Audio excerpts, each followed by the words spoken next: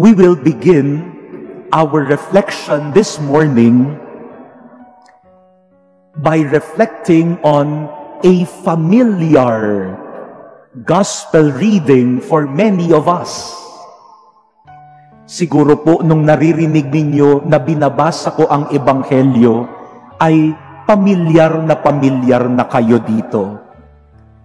When Jesus proclaimed to His disciples, You are the salt of the earth, you are the light of the world. Kayo ang asin at ilaw sa mundong ito. It is so familiar that many of us have used these titles. Meron akong nakita na Salt and Light TV. No? Pangalan ng isang TV channel, no? Salt and Light TV. Meron din akong alam na isang choir. Ang pangalan ng choir ay Asin at Ilaw Choir. Meron ding isang charismatic community, Asin at Ilaw Community. Meron nga rin akong nakikita sa atin, mayroong suot na t-shirt. Sa harap asin, no? sa likod ilaw, no? Kulang na lang magluto siya, no? Asin at ilaw, no? But before we use salt and light as a title and a name for us, let us be reminded today that Jesus did not intend for salt and light to be used as names and titles for us. Bago pa man nating gamitin ito na titulo at pangalan natin, tandaan natin, hindi naman ito sinabi ni Jesus para maging pangalan at titulo natin. Salt must always be tasted. Light must always be seen. Just as love must always be felt, just as goodness should always be done. Salt and light are not names. They are not even taglines. They are a summons for us to work for mercy and justice. Ang pagiging Kristiyano, sabi ni Jesus, ay parang asin, laging nalalasahan ang pagiging Kristiyano ay parang ilaw, laging nakikita. Ang ibig sabihin nito mga kapatid, ang pagiging Kristiyano ay hindi lamang sa pangalan, kundi ito ay nararamdaman.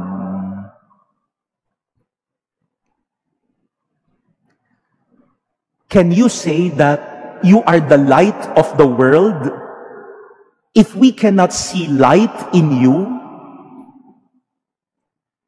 can we say that we are the salt of the earth if we cannot taste the goodness of God in you? Masasabi ba nating ilaw at asin tayo ng mundong ito kung hindi nakikita sa atin ang ilaw at hindi nalalasahan ang kabutihan ng Diyos. So, useless ang t-shirt mo na may asin at ilaw sa harap at likod kung hindi nakikita ang ilaw at nalalasahan ang asin ng kabutihan ng Diyos. Meron ho akong nakikita dito ng mga mag-asawa Tatanungin ko kayong mga mag-asawa o mga mag-boyfriend o girlfriend o nagliligawan pa lang dito. Paano nyo masasabi o ma- masasabi na mahal kayo ng asawa ninyo? Pwede nyo bang sabihin sa akin na, eh Father, sabi ko niya, mahal niya ako, no? Sabi po niya palagi sa akin, I love you. Pwede ba yun? Hindi kailangan iparamdam nyo sa akin. Iparamdam mo sa akin na mahal mo ako. Kinikilig yata yung mga mag-asawa dito, no? Iparamdam, no?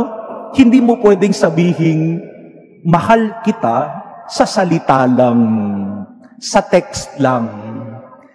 Mararamdaman mo ang pagmamahal ng isang tao kapag ipinakita ipinaramdam sa iyo ang kanyang pagmamahal. That is salt and light.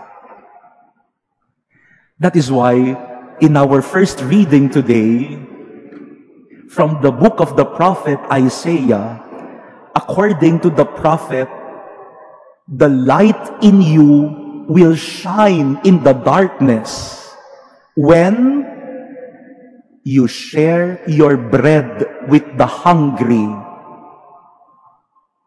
When you shelter the oppressed and the homeless. When you give clothes to the naked. When you hear those who cry for help. When you remove from your midst oppression, false accusation, and malicious speech, when you do all of these things, then you can say that the light of God in you has shone. Hindi mo masasabing nagliliwanag ka na kapag hindi ka naman gumagawa ng kabutihan. Magliliwanag ka pa lang kapag nakita na ng tao ang liwanag ng Diyos, ang liwanag ng kabutihan sa iyo. That is why also in our second reading today from the first letter of St. Paul to the Corinthians, St. Paul reminded the Christians in Corinth, I have proclaimed the mystery of God to you not with persuasive words, but with a demonstration of spirit and wisdom and power. Sabi ni San Pablo, kaya epektibo ang kanyang pagpapahayag ng salita ng Diyos dahil hindi niya tayo binobola lang sa salita kundi pinatotohanan niya ito sa gawa. Kaya tayo, huwag tayong magpapabola sa salita. Tingnan muna ang gawa. Ngayon nga eh, nagpadala lang ng picture sa'yo sasabihin mo, ay mahal na niya ako, no? Pinadalhan niya ako ng picture, no? Ngayon, kapag sinap, kapag pinakitaan ka lang ng ganyan, no? Ay, mahal na niya ako, heart sign, no? Ngayon, usong-uso, no? Heart sign, no? He showed me a heart sign. He must love me, no? Kilig na kilig na, pinakitaan lang ng ganyan ng daliri. Kaya, mabilis, mabola. Kapag sinagot mo na, makikita mo na ang tunay na kulay. That is not about being salt and light. That is why Jesus used the image of salt and light to remind us that love, being a Christian, is not only by name, it should be tasted, it should be seen. If it cannot be tasted and seen, then it is useless according to Jesus. The other day, I saw a very inspiring news. Our brothers and sisters in Sibuyan Island in Romblon are fighting for their lands against commercial mining.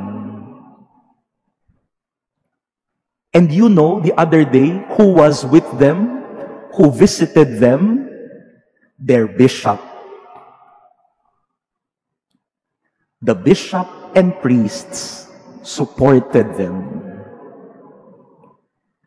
The bishop was not only seen in online mass, he was not even seen just in the church or in the pulpit.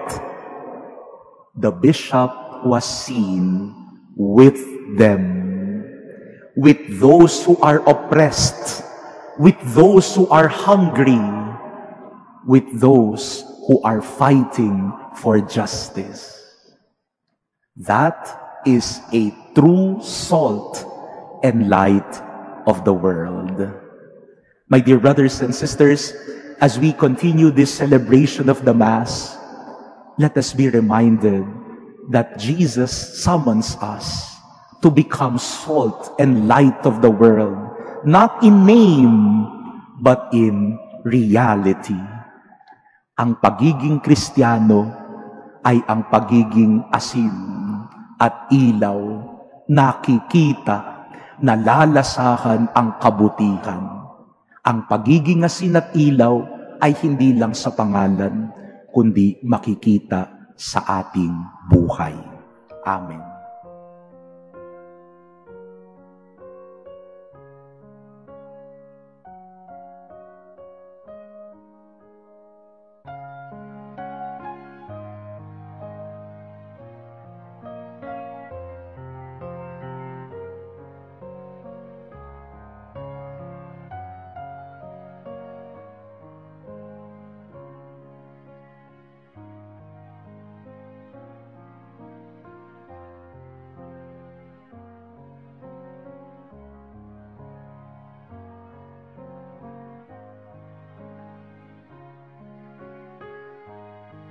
Salamat po sa mga taong nagbabahagi ng salita ng Diyos sa social media.